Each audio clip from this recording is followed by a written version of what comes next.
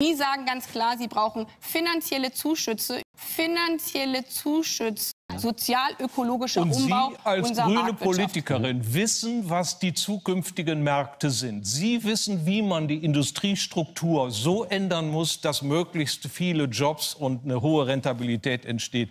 Sorry, das wissen Sie gar nicht. Das ist eine Anmaßung von Wissen, nicht persönlich, aber die, die diesen Standpunkt vertreten. Aber ich rede doch mit die, den Das können die Firmen selber entscheiden. Die müssen die Märkte abschätzen. Und glauben Sie mal, wenn der äh, Trend in irgendeine Richtung ginge, äh, dass die Leute jetzt plötzlich Elektroautos von alleine kaufen wollen, dann würden die Firmen von gerne dann natürlich investieren. Da brauchen sie sie nicht zu zwingen, bestimmte Dinge zu machen.